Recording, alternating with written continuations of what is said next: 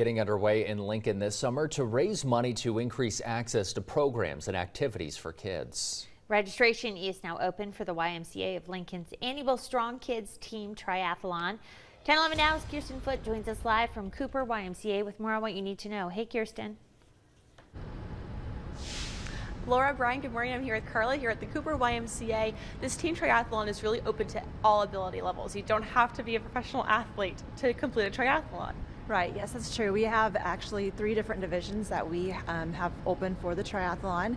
It's open to individuals if they would like to participate by themselves, or there's a recreational group and a competitive group if they want a little bit higher mileage. And those registrations are open now. It started just this week, but you can still sign up. Correct. Yep, it's open um, really for anybody to continue to register. Uh, the triathlon goes through July 23rd, but we're still accepting registrations. Uh, you can register um, either online or at our front desk. Um, again, it's open to anybody throughout the community here in Lincoln. It's not just YMCA members. It's $30 for everyone, um, and out-of-staters too are welcome to join.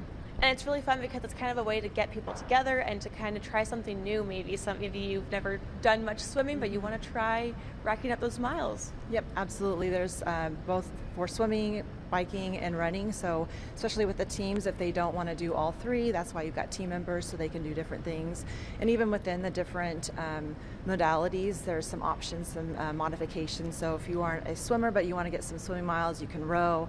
Um, runners, we also take walking miles, elliptical, etc. So just some different uh, variations throughout that too. Awesome. Thank you so much. Super easy, super easy to sign up, super easy to get involved, and all benefiting such a great cause. We're going to share more about that through the six, six, six o'clock hour. Thank you so much for joining me, Carla. You bet. Laura, Brian, back to you. Yeah, really fun event that's taking place. 1011 Now's Kirsten Foot reporting live for us. Thanks, Kirsten.